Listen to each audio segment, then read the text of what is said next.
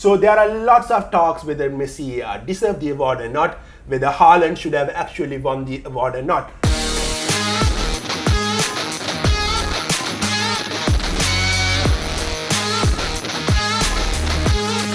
And uh, talking about the awarding ceremony, uh, Kevin, I know that you are a big fan of uh, Messi as well, and he won the uh, FIFA Men's Player of the award for 2023.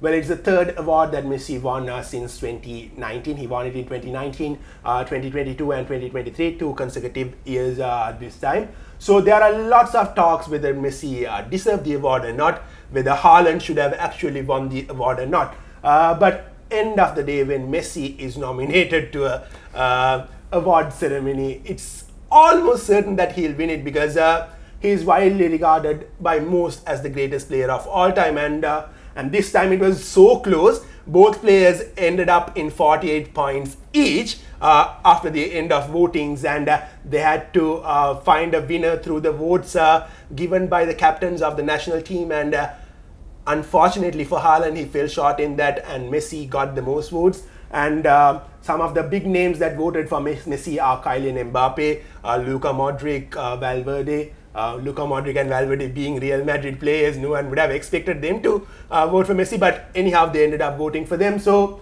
end of the day, Messi has won the third uh, FIFA Men's Player Award since 2018, and unfortunately for Haaland, he just fell short by the barest of margins, and uh, there's still more time for Haaland uh, to win more awards because he's still young, still 21, 22 years old, and there's Mbappe as well who will be uh, challenging him for that. So Uh, let's wait and watch what happens.